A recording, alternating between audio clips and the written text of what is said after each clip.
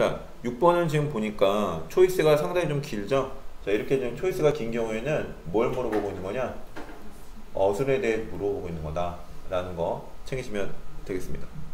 자, 그러면 볼까요? Why haven't you come to choir practice this month? 너 이번 달에 합창단 연습 왜 안 와? I've been too preoccupied blank. 자, 일단은 preoccupied. 요 뜻 알고 계시면 좀 나으려나? 무슨 뜻이에요? 오케이. 거기서 열중한 이런 뜻이에요. 혹은 어떤 일에 몰두한 이런 뜻입니다. 자, 그러면 그, 그 다음에 우리 할 일은 뭐냐? 이 초이스를 보시고서 이게 내용이 뭔지를 어, 말 그대로 이제 상상을 해서 조합을 한번 해보시면 좋겠는데 나 너무 열중이 있었어. Lately with plan my wedding, with plan my wedding lately, lately with planning wedding, with wedding planning lately. 아, 그 이번에 그 요즘에 결혼 어떤 거? 웨딩 플랜.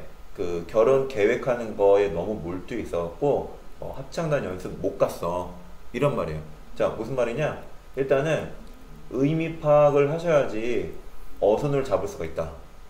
라는 거. 그러니까 독해라고 해서 무조건 이게 지금 문법상 아, 문법이라 해서 무조건 그 문법만 챙기면 되는 게 아니라 독해가 가능하셔야 돼요. 말 그대로 의미 파악이 돼야지 되는 상황이고 그 다음에 어디 어디에 열중한 얘는 어 be occupied with라는 그런 수거예요. 이 자체가 be occupied with 어디 어디에 열중한 그런데 이 occupied with라는 이놈은 전치사입니다. 전치사 뒤에는 당연히 뭐가 나온다? 명사가 나오겠죠? 그죠? 자, 그러면 전, 그, with라는 거 나오고 그 뒤에 명사가 나온 패턴을 보니 B 아니면 D 둘 중에 하나가 되겠네요. 보니까 with plan my wedding lately with wedding planning lately 뭐예요?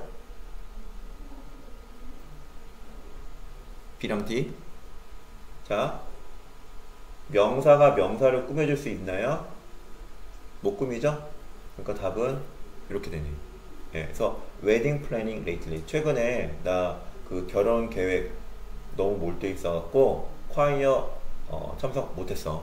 답은 뒤로 가시면 되겠습니다. 그리고 이제 이 어순 문제에 있어서는 이 말 그대로 이 초이스들이 그냥 순서를 이렇게 뒤죽박죽 했기 때문에 어떤 문법적 의미가 따로 있지는 않아요. 가끔 가다 어떤 학생들이 어, 선생님 B, 그 A, B, C 그 정답이 안 되는 것들은 정답 안 되는 이유가 뭐냐 이렇게 물어보신 경우가 있는데 그냥 이건 문제를 출제하기 위해서 이걸 그 스크램블 해놓은 것 뿐입니다. 어, 그러니까 이제 요거 챙기시면 돼요. 6번 되셨죠? 오케이.